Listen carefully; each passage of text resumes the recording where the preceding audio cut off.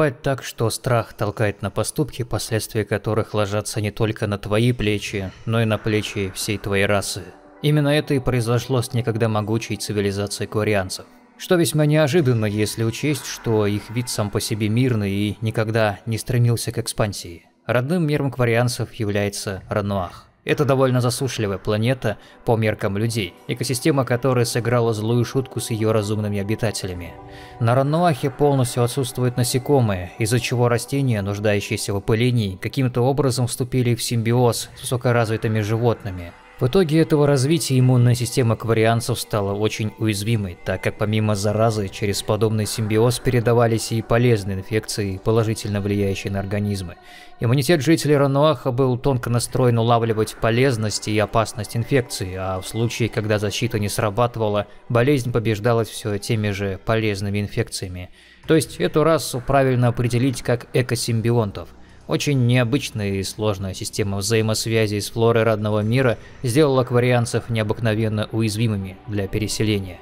Стоит им оказаться где-то, где нет так нужной им флоры, как намеренно ослабленная иммунная система прекращает получать полезные бактерии. Зато открывается путь для настоящей и очень опасной инопланетной заразы, несущей угрозы существам даже с более мощной защитой организма. И если любая раса может колонизировать мир, который пригоден по ряду пунктов для их удобного существования, то у кварианцев с этим большие проблемы. В их случае фауна планеты должна быть чуть ли не идентична фауне Рануаха, возможность чего стремится к нулю. Особенно если учесть то, что кварианцы являются вегетарианцами. Эти факторы также сыграли роль в миролюбии расы. Сложно завоевывать миры, если жить ты на них сможешь в лучшем случае лишь в скафандре, питаясь сухпайками через трубочку. В те времена скафандры стали для них очень печальным, но далеко не повсеместным решением. Во времена первого века до нашей эры, когда на Земле господствовала Римская империя, кварианцы, уже вышедшие в космос и давно нашедшие и протеанские артефакты, и ретранслятор, наконец смогли всем этим воспользоваться. Дело в том, что их система подкинула им еще один неприятный сюрприз. Она была чрезвычайно бедна на нулевой элемент. Его практически не было вовсе – поэтому ретранслятором они воспользоваться попросту не могли, как не могли разработать технологии, основанные на эффекте массы. Зато такая ограниченность в ресурсах, пусть и заперла их в собственной системе, все же позволила им искать иные пути, альтернативу нулевому элементу, на что так рассчитывали жнецы. Это иронично, но позже древние машины найдут кварианцев весьма бесполезными для своих изысканий. Ирония здесь в том, что именно кварианцы внесли немалый вклад в поиск альтернативы нулевому элементу. Хотя, возможно, это и не совсем так, ведь мы не знаем, какой информацией обладают жнецы и сколько таких альтернативщиков они повидали за полтора миллиарда лет. Но сейчас не о жнецах, до их прибытия еще несколько тысяч лет. Кварианцам все же удалось найти хоть какие-то запасы нулевого элемента, и открытие эффекта массы не заставило себя долго ждать. Кварианская делегация быстро обнаружила цитадель и вступила в контакт с ее обитателями. Для Азарии и турианцев не было сюрпризом то, что где-то в глубине галактики существовала развитая цивилизация. Они к этому времени уже к подобному привыкли. Кварианцы достаточно быстро освоились на цитадели и уже очень скоро открыли там свое посольство, наладив дипломатические отношения с титульными расами. Уже тогда ни для кого не было секретом, что новички – это одна из самых технически развитых рас, а по ряду аспектов и вовсе самая развитая. Нужда в ресурсах дала их технологическому потенциалу серьезный толчок, и теперь, когда нулевой элемент стал для них доступен, множество новых изобретений и открытий не заставили себя долго ждать.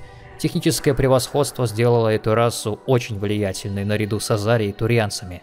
С последними у них было больше общего. Обе расы существовали на основе декстробелка, что делало еду подавляющего числа других видов для них в лучшем случае несъедобной, а в худшем – ядовитой. Зато турианская еда отлично подходила к варианцам и наоборот, хотя первые все же предпочитали свою еду, не всем по нраву вегетарианства – да и в целом строением тела во многом эти расы тоже были похожи. Строение ног, стиль ходьбы с опорой не на всю стопу, рудиментарный противопоставленный палец. Разве что турианцы были в среднем повыше кварианцев, тогда как последние, опять же в среднем, были чуть ниже обычного человека. Кстати, кварианцы на данный момент единственная известная разумная раса, кроме людей, имеющая волосяной покров. Но их тощий внешний вид является обманкой. Физически кварианцы не менее, а иногда даже более сильны, чем другие антропоморфные расы. Впрочем, их особенность не в физической силе, а в интеллекте, делавшем их наряду с другим еще и очень опасными противниками. И по итогу, даже после своего падения и потери родного мира, Кварианский флот считался и фактически являлся самым технически развитым в известной галактике. К тому же именно кварианские разведчики нашли больше всего новых ретрансляторов, что тоже говорит о них положительно. Нетрудно догадаться, что кварианские инженеры были на расхват. Не только инженеры, но и ученые, биоинженеры. Раса кварианцев для многих являлась и таким парадоксом. Обладая невиданными другим технологиями, имея полную возможность как минимум начать колонизировать другие миры, пусть и в скафандрах, и требовать от Совета долевого участия в колонизаторстве, а как максимум начать военную экспансию, этот вид не сделал ничего подобного, почти не желая выходить за пределы Раннуаха. Были основаны лишь несколько колоний, одна из них на Хистроме. На своей родной планете они жили долго и счастливо, поклоняясь предкам, имели, как и остальные, множество разных языковых наречий, развивали культуру и вообще были очень миролюбивыми и дружественно настроенными по отношению чуть ли не ко всем расой, включая потенциально новые виды вроде тех же людей, с которыми кварианцам еще лишь предстояло встретиться – и, разумеется, такое положение вещей более чем устраивало остальные расы. Все они прекрасно понимали, что если кварианцы решат сменить политику, жить тяжело станет всем. И очень быстро. Но те об этом даже не помышляли. Однако, лишь до поры. Однажды все изменилось. Долгие столетия кварианцы развивали собственную науку и в итоге добились небывалых высот. Например, их костюмы являются чуть ли не вершиной биоинженерии. Фактически внутри костюма собственная микрофлора, позволяющая расе жить в любых условиях. Мало кому удавалось оценить внешний вид кварианцев и кварианок без костюма. Для этого им пришлось бы явиться лично на Рануах. По космосу же кварианцы бродили именно в костюмах, лишь изредка снимая их. Все времена их иммунитет все же был заметно крепче, чем позже. Из-за такой особенности некоторые начали поговаривать, что благодаря костюму кварианцы способны даже выживать в вакууме, что, конечно же, неправда. Если и способны, то очень и очень недолго. Был еще и более забавный слух, что кварианцы на самом деле киборги, поэтому и скрывают лица. К таким слухам сам народ Рануаха относился с усмешкой. Этим, в том числе, другие пытались объяснить их технические достижения, пиком которых, без сомнения, стала разработка полноценного искусственного интеллекта. Ни один другой вид не смог достичь этой планки, поэтому открытие кварианцев многих заинтриговало. Поначалу. Их разработка была названа Гет, что в переводе с хельского языка квариан означает «слуга». По своей сути, именно в качестве слуг Гет и создавался. Это определенная платформа, выполняющая те или иные задачи, от уборки дома и стрижки газона до надзора за системами жизнеобеспечения. Каждая платформа обладала полноценным искусственным интеллектом, но не таким, каким его воображали другие. Сам по себе Гет был довольно глуп и умел только то, на что был запрограммирован, но их интеллект был живым. Он был подобием нейросети. Когда один гет подключался к другому, их сознание сливалось, как две капли воды, становясь одной, более крупной. Знание объединялось. Теперь обе платформы были гетом, причем одним и тем же. Для других рас это было слишком сложным для понимания и непривычным, поэтому они называли этих роботов гетами, хотя по сути множественное число в понимании личности к ним неприменимо. В те времена автономных платформ не было даже в проекте, и каждая платформа была гетом. Таково свойство разума Улья. Хотя на самом деле оба способа обозначения будут вполне корректными. Сливаясь воедино с другими платформами, разум гета усиливался и интеллектуально продвигался, интеллектуально расширялся. Так начался процесс обучения, что уже тогда стало тревожным звонком для многих вариантов. Но верхушку власти и самих ученых все устраивало. Они считали, что умный слуга – полезный слуга.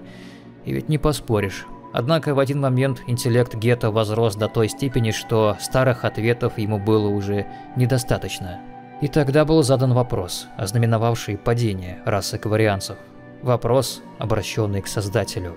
У этой платформы есть душа? И тут будто бы все сообщество кварианцев замерло в страхе. Этот вопрос наглядно показал, что интеллект Гетте перешел определенную черту, и теперь это не просто слуга. Это отдельный самый настоящий синтетический вид, фактически новая раса. И вот это кварианцев уже совершенно не радовало. Следует отметить, что Гет никогда не был вооружен. Он выполнял только мирные поручения, служил создателем и познавал мир. И даже вопрос о наличии души не был чем-то враждебным или страшным, или даже странным сам по себе. Однако кварианцы всерьез испугались и решили отключить Гета. Так как отключение для Гета фактически подобно смерти, те искренне спрашивали создателей, что они сделали не так и в чем провинились, они искренне желали исправить ошибку и дальше служить, для чего и были созданы. Но кварианцев такие нюансы уже не интересовали. По Раннуаху прокатилась волна уничтожения платформ. Сначала, конечно, была попытка просто отключить всю сеть гетов и утилизировать их, но она провалилась. Сеть интеллектуально разрослась настолько, что отклонила запрос на отключение, видимо решив услышать в ответ хотя бы один разумный довод к фактически геноциду их вида. Тогда кварианцы массово взялись за оружие. Так началась утренняя война. Несмотря на смысл их жизни, заключавшийся в служении хозяевам, геты, как и любые другие живые разумные существа, а на тот момент они именно таковыми являлись, вынуждены были защищать себя. Так, крупный сельскохозяйственный гет впервые взял в руки оружие в попытке защитить невооруженную платформу, занимавшуюся мелкими домашними делами. Узнав об этом, кварианцы окончательно прониклись мыслью, что геты опасны. И даже не такие уж редкие голоса разума из числа их же соплеменников, призывавших остановить геноцид, легко пропускались мимо ушей. Вот так вот миролюбивая и добрая раса, ведомая страхом, в один миг превратилась в убийц. Даже самих кварианцев, защищавших гетто с оружием в руках, также не щадили. Хотя сами платформы пытались сдаваться, чтобы сохранить жизнь своим хозяевам. Долгое время они вообще не оказывали сопротивления, а просто прятались. И иногда их даже укрывали сами дружественно настроенные кварианцы. Но упорство перепуганных технократов свело на нет даже терпение синтетиков. В один момент геты подсчитали, что таким темпом их всех истребят почистую, и, что немаловажно, гражданская война кварианцев сильно подкосит их ряды. И тогда геты выбрали единственный доступный вариант – поднять полноценное восстание. И много времени у них это не заняло. Гет был часто крупнее и выносливее кварианца, да и платформ было немало, и хотя смерть каждой платформы означала потерю части личности и мироощущения для всей сети гетов, все же те очень быстро потеснили создателей. И разумеется, на войне действует правило «убей или будешь убит». Все предложенные ранее альтернативы не были приняты кварианцами. Те не считали гетов за равных. В итоге они были вынуждены эвакуироваться на корабле, Корабль уместил в себя лишь несколько миллионов человек, что являлось менее чем одним процентом от довоенной численности кварианцев. И при помощи космического флота они покинули систему, готовясь отбиваться от погони. Но погони не было. Геты желали лишь защититься и прекратить войну. Как только корабли отошли от планеты на достаточное расстояние, геты прекратили преследование. В этот момент кварианцы были разбиты и уничтожены. Они искренне считали, что подверглись геноциду со стороны искусственного интеллекта, однако это все не совсем правда. Война шла в течение года, и кварианцы, безусловно, просили совет о помощи. Однако те смотрели на это событие со смесью ужаса и презрения. С одной стороны, они видели, как раса создала очень опасный вид, который потенциально угрожал вообще всей разумной жизни в галактике. Видели, как кварианцы наплевали на безопасность других цивилизаций. С другой же стороны, расы Совета фактически были призваны участвовать в чужой войне, которая фактически выкосила самих же кварианцев, то есть подписаться на добровольный геноцид. Поэтому от проблемы те отмахнулись, списав ее на внутреннюю, подкрепление кварианцам так и не пришло. А после потери Ранноаха для остальных рас стало ясно, что зазнавшиеся и взорвавшиеся кварианцы поставили под удар вообще всех. Отныне к ним относились с нескрываемым презрением, их посольство закрыли, представительство в Совете отменили, а сама раса стала космическими скитальцами, которым относились теперь как ворам и попрошайкам. С этих пор кварианцы утратили практически все, что наживали долгие тысячелетия. Несмотря на опасения галактического сообщества, геты не пытались хоть как-то воевать с ним. Впрочем, на попытки вступить с ними в диалог геты тоже не отвечали, самоизолировавшись в вале Персея. Совет решил, что раз так, то может оно и к лучшему, и объявил этот сектор опасным. Скоро геты посетили и колонии создателей, точно так же выбив их и оттуда. Лишенные дома кварианцы хотели было колонизировать новые миры в попытке найти хоть какой-то дом, но тут уже вмешался Совет и отказал им в намеченной планете Экуна, так как та была дарована расе Элкоров из-за подходящей для них гравитации. Отчаявшись, кварианцы даже пытались найти планету Илос для заселения, но так и не преуспели в этом. Они оказались в весьма незавидном положении. Их популяция сократилась практически на 100%. У них отсутствовал не то что родной мир, но даже простой перевалочный пункт, где можно заняться ремонтом или исследованием. Другие расы с течением лет смотрели на них как на воришек, что не так уж редко оправдывалось. Запертые на своих высокотехнологичных, но со временем безнадежно устаревших кораблях, кварианцы вынуждены были подстраиваться под жестокие реалии, чтобы выжить, и вороватость была лишь одним из множества изменений. В первую очередь реорганизовалось все общество. Теперь жизнь кварианца проходила на мигрирующем флоте, армаде кораблей, а на деле остатки от прежнего флота. Сами корабли изнутри годами переделывались в настоящие дома с тонко настроенной экосистемой. С последним, кстати, были очень серьезные проблемы, ведь образцов кварианской фауны практически не осталось в свободном доступе, и иммунная система жителей Раннуаха начала деградировать и через годы она практически вовсе перестала существовать. Некогда требующийся лишь в определенных ситуациях костюм стал жизненной необходимостью каждого представителя этой расы. С самого рождения они вынуждены были носить его, ибо в противном случае любая зараза, любой даже прием, не прошедший спецобработку пищи, грозил серьезными заболеваниями, вплоть до смертельного исхода. Все, конечно, было не так грустно, как некоторые любят рассказывать. Если бы они умирали от каждой царапины, от их популяции очень скоро бы ничего не осталось. Но та самая царапина легко могла обернуться для них парой недель серьезного жара и потери дееспособности. Однако кварианцы не были бы кварианцами, если бы не взялись за технические модификации. Пусть и вынужденно, костюм стал настоящим биоинженерным чудом. Даже в изгнании они технически превосходили другие расы. Да и их мигрирующий флот даже в устаревшем виде давал фору тому же Турианскому флоту. Внутреннее общество кварианцев также было реорганизовано под новой реалией. И закислились в один, Хельский. Родители с рождения воспитывали в детях доверие и взаимовыручку, ибо в условиях мигрирующего флота это было необходимо. Из-за этого свойства галактическое сообщество считало кварианцев наивными и легко попадающими в неприятности, что не лишено оснований. Судебная система также претерпела изменения. Кварианцы больше не могли позволить разбрасываться сородичами, и в то же время содержать преступников в тюрьмах было настоящим расточительством ресурсов. Альтернативой стали общественные работы на благо флота за мелкие и средние проступки. Чаще всего дела решались именно так. Но за серьезный проступок следовало изгнание. Нужно сказать, что таких проступков было не так уж много. В основном это саботаж, убийство, отравление еды, да, бывало и такое. Здесь, разумеется, общественными работами уже не обойтись. В этом случае преступника высаживают в ближайшем населенном пункте и придают всеобщей огласке его преступления. И кроме того, его лишают части имени. Они, имена, тоже изменились. Теперь приставками к имени служили корабли, на которых работали или просто родились те или иные особи. Первая часть имени, то есть имя и фамилия, пишутся через апостроф. Вторая часть состоит из частицы и имени корабля. Сперва это частица нар, обозначающая принадлежность к роду. Например, имя Тализоры Нарраи означает, что она родилась на корабле с названием Райя. И после паломничества, еще одного нового обычая кварианцев, особь получает приставку «вас», обозначающую принадлежность к кораблю. На примере той же Тали, она стала вас Нимой, а позже вас Нормандией, после паломничества. То есть она стала обитать на корабле Нима, а позже на корабле Нормандия. Забавно получалось, когда нуждающиеся в технике кварианцы были вынуждены покупать бывшие употребления корабли, и официальная, с точки зрения законов галактики, смена названия была сопряжена с кучей проблем, и в итоге, к примеру, целый анклав кварианцев мог носить смешные имена – Скажем, небезызвестный адмирал Зал Корис носил имя Васквип-Квип. Правда, стоит признать, что он носил его с честью, плюя на некоторые усмешки соплеменников.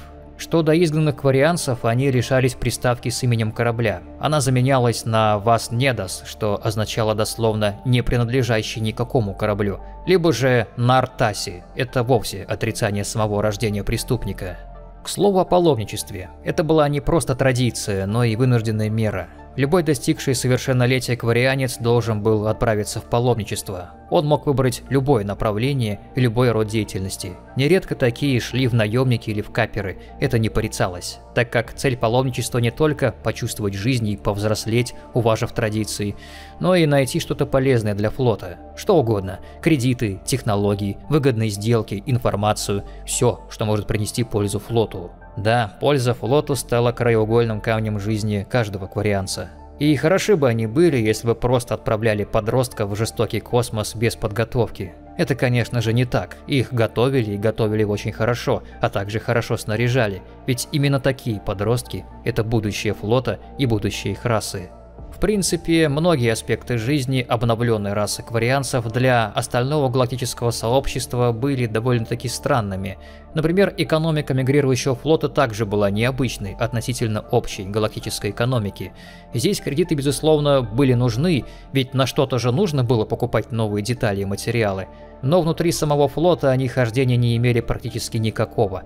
Там был развит бартер, когда есть ненужные вещи или просто желание на что-то обменяться, жителями кораблей выстраивается подобие местных рынков. Нередко вещи для обмена кладутся в шкафчик с полным доверием к потенциальному партнеру по сделке, что тот придет и положит в этот же шкафчик замену. Правда, провизия и лекарства контролируются уже гораздо более строго, по понятным причинам, ведь медикаменты жизненно важны, да и еда достается нелегко. Да, теперь блюда турианской кухни стали считаться чуть ли не деликатесом. Обычно они ели нечто менее аппетитное, прошедшее бактериологическую обработку. Нередко также мигрирующий флот заглядывает в обитаемые миры, и там точно так же обменивается с обитателями. Из-за постоянной угрозы здоровью они развили не только свою технику, но и медицину. Поэтому медицинские технологии, программы и, в принципе, техника кварианцев, кто бы что ни говорил, высоко ценится по всей галактике. Хотя даже самый захудалый ворчий или батарианец посматривает на этот некогда величественный народец свысока. Можно с уверенностью сказать, что кварианцы до утренней войны и после – это две совершенно разные расы. Мирную и честную жизнь местами пришлось реорганизовать. Веса в политике они больше не имели, да и перспектив на развитие не было, лишь на выживание. И лишь к 2183 году, после нападения сил Цербера, конклав мигрирующего флота пришел к выводу, что теперь кварианцы вынуждены начать колониальную экспансию, иначе они просто не выживут. Но этим планам не суждено было сбыться. Через три года началось вторжение жнецов. И хотя каварианцам все же удалось вернуть их родной мир и заключить союз с гетами, теперь они, как и все остальные, стояли перед лицом древнего ужаса галактики.